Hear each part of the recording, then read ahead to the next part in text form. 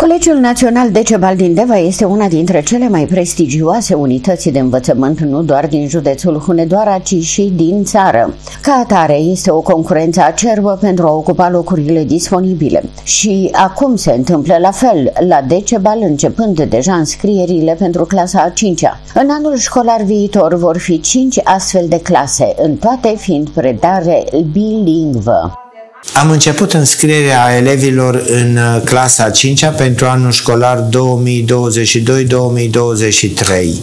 Uh, părinții au posibilitatea să înscrie elevii în uh, clasele a 5-a cu predare intensivă limba engleză. Avem trei clase și uh, două clase uh, cu predare în limba germană.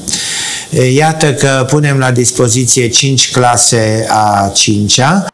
De asemenea, conducerea Colegiului Național Decebal din Deva pregătește înscrierile pentru clasa pregătitoare și aici existând predare bilingvă.